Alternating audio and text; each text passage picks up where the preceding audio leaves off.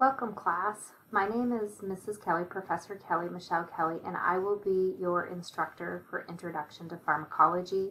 And as I promised, I would give you guys a video, so I wanted to get this set up and sent out to you today so you guys are aware of your expectations for this class. I'm excited to have you, but I want to warn you this class is a lot of work doing this course in eight weeks, you are going to have to stay on top of your assignments every single day. We will be covering two modules per week. So, that being said, most assignments will be due on Thursdays for one module, and then the next module will be Sundays. So, we will be covering approximately anywhere between four to six chapters a week in the textbook. So please be aware that this course is a lot of work. Um, you have multiple assignments due each week, so you really need to stay on top of your work. And one way that you can do that is by looking at the calendar um, in your um, course. So let me leave student view here and see. Here we go. So here is your calendar. You can find your calendar over on, um, I don't know if you guys can see it. There we go. Your calendar is going to be found right here in this toolbox here.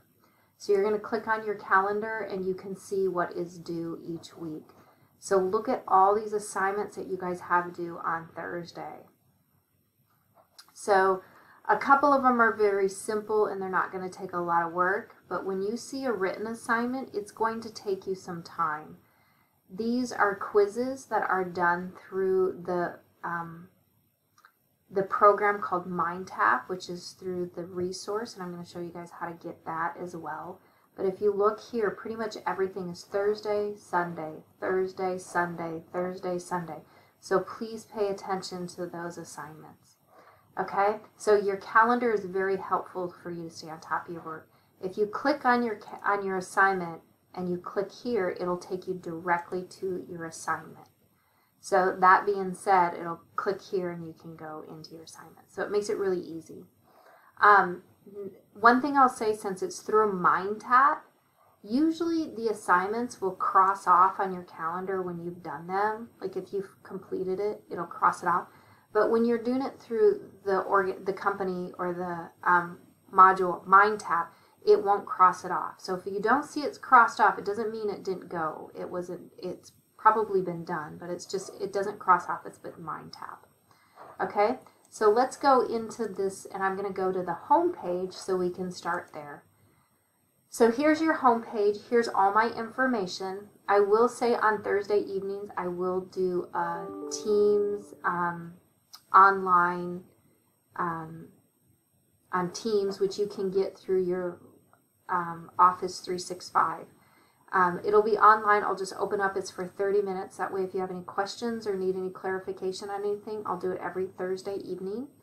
Um, I also have office hours on campus Monday through Wednesday from um, 12 to 2. So you're welcome to come and meet me in person if you'd like. Um, the other thing is make sure you pay attention to your announcements. I will probably send an announcement at least once a week, kind of letting you know what is coming up for the week. Um, so pay attention to your announcements. Here I have a welcome announcement, so please read that and read everything closely and in detail because I do help you a lot when you read those. If you want to follow your um, modules, in here is where you're going to find all your different information. And to purchase your MindTap resource, you're going to click here. So I want you to go here.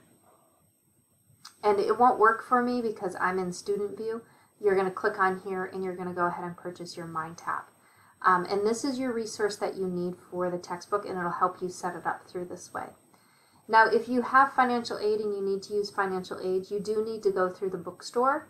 And I have communicated with the bookstore. There's some issues with them getting it set up online, so you might actually have to go to the bookstore and get the MindTap resource.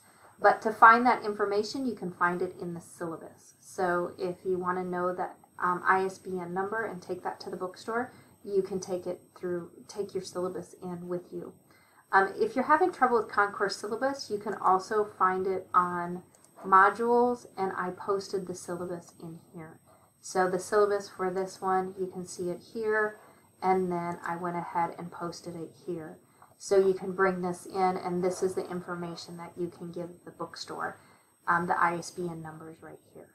Okay, so that's how you can get your resources. You need to get your resources today or tomorrow. Since you have assignments due on Thursday, you need to get that resource done now. Okay. Um, as far as your first week, module one, it'll tell you in each module what dates we're working in. So this is the 16th through the 19th. Um, so you have a little introduction and a quiz, real quick, a syllabus quiz. It's nothing difficult. I just need to confirm that you reviewed the syllabus and you understand the expectations. And then each week, the chapter quizzes, they're short, they're only 15 points. Um, you have a couple attempts on them, and they're done through MindTap. Um, and then these apply it and put it all together are usually a video, which kind of reviews some information about that particular chapter, and you get to kind of practice it and see it. Um, and then there will be a couple questions associated with that. And then your written assignments, um, these are a little more work um, than your MindTap assignments. These are separate. So here is a video and an image explaining over-the-counter medication labels. Medication labels can be very confusing and it's important to be able to read them correctly.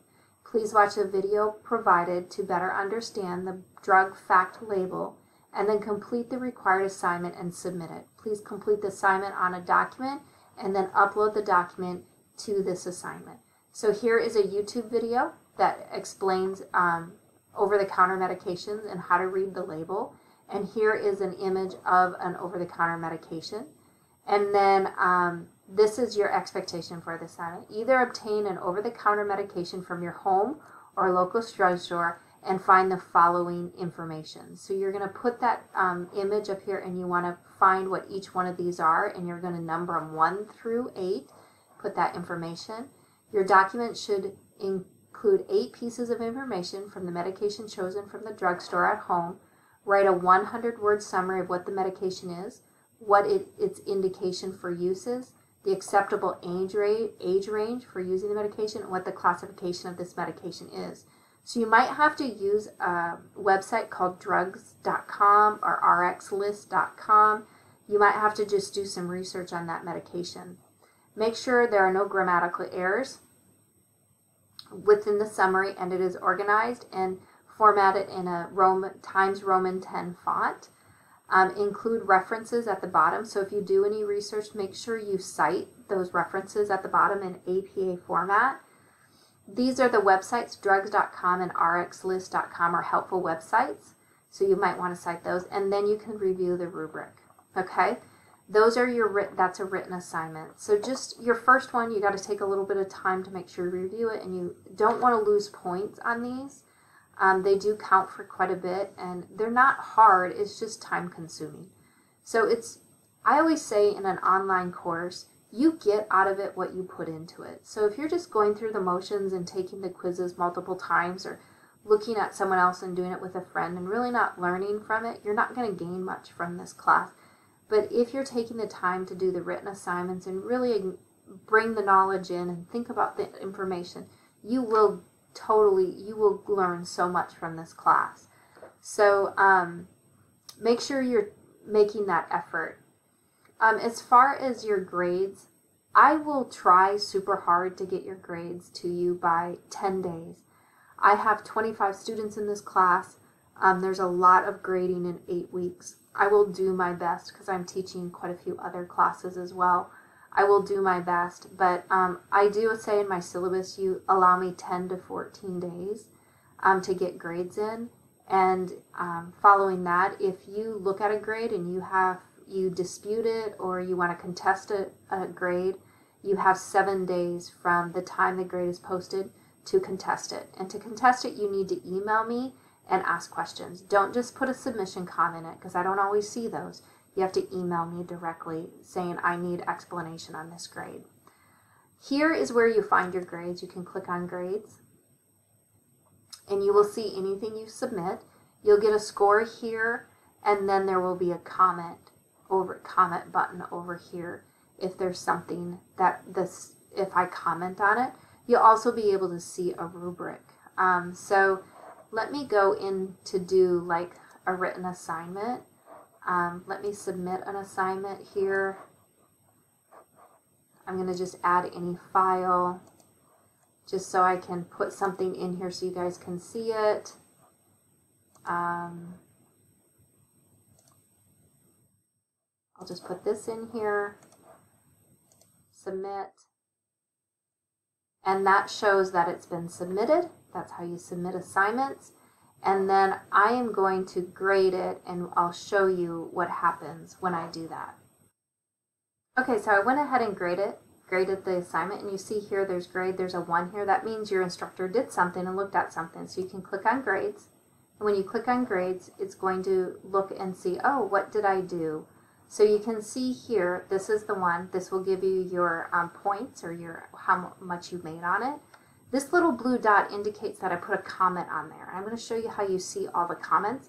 This is your rubric and that I submitted a comment. So to see these, you just click on them and you can see here, this is what I scored it as. So the rubric, and sometimes I'll put comments on here, like in this section, like if you missed references and I explain why, it'll say it in here. So here I wrote, you did a great job on your summary. Okay, so that's your rubric. If I put any comments on it, you can click on it. I appreciate the work on this assignment. And then, so see the blue dots go away once you view them. So if I click on this one, you actually, to see the comments here, you got to click on the assignment. And then you say view feedback. And here is the assignment I submitted. And I put a comment out here.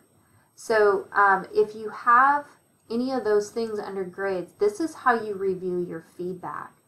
And if you're not looking at your feedback online, you're really not learning because you're not knowing how to improve, particularly on written assignments or discussions, because it's the only way I can communicate with you since I don't see you guys in class every day. So please pay attention to the comments that I submit because I will give you feedback to make improvements on how you can get better um, in the class. So um, that is pretty much the course. Um, remember, each week you have Module 1, which is the first half of the week, and Module 2, which is the second half of the week. And then the next week we'll start over. I have these locked. They will open up the Friday before the week starts, and it'll open up the next two modules. So it'll be locked till the 20th. You see this? um, and then it'll open so you can complete the next. You can notice the next following week it's only two weeks or two chapters and two chapters, so it'll be four chapters. Your first week is a lot because the chapters are shorter and not as difficult, so I put a little bit more in there. Um, but if you don't get your mind MindTap Cengage set up right away, that can be a challenge. Um, I can show you how to do it when we go to a website. So let me go to um, cengage.com and you can go to student and you want to do online learning platforms or you can do Cengage Unlimited, whichever one you want to do. Cengage Unlimited sometimes is nice if you have more than one um, Cengage course um, and you want to do, um, you don't want to do the e-textbook because that's just the textbook. You want to do the MindTap. Um, which it's not in here. So we don't want to do the unlimited. We want to go to online learning platforms and you are going to find my platform and you want to do MindTap and you are going to do it through Canvas. And are your course materials included in your tuition? No. And this is going to tell you how to register for MindTap in Canvas. So that is how you're going to go ahead and purchase your um, resources. Now, if you have financial aid, again, you're going to have to go through the bookstore, which is here, and you're going to have to um, go to the bookstore. You're going to sign in, and you want to go to the technical campus, Allen. And I do not know that the book is available yet. And if it's not, you're going to have to contact them and find out why. Um, I have emailed them and they haven't responded yet. So I'll keep following up with them but you do want to put the course number. So your department is health science, health professions, and the course number is 1310, and we're section 503. You may look and see if it's in 501, and you might be able to retrieve it that way. it says course material still pending as well. Um, so uh, it might be easier to get it through if you come into the bookstore and get it done that way. Um, but I will follow up with the bookstore and see if I can get that set up for you. Um, and that's all I have for you guys. So I do know this video is a little long, but I think it will help you. Um, please email me on my homepage. I have um, my contact information. If you have any questions, you can find all the information here. Um, if you go to your 365, you should be able to find your Teams app. So you'd log in there and find your Teams app if you want to jump in my office hours. But that's all I have for you. So um, I hope you guys have a good week. I know it's a busy week. Um, and I know this is going to be a lot of work. So try and stick with it. And I know you can do it. But um, keep me posted if you have any questions. Please read the syllabus. I do not, one thing I will say is I do not take late grades. Um, I will leave an assignment open for 48 hours. And if it's not submitted within the after the 48 hour due date, it's a zero. I don't take anything after that. So you have two day grace period, and that is it. Um, and that's all I have. Have a good night.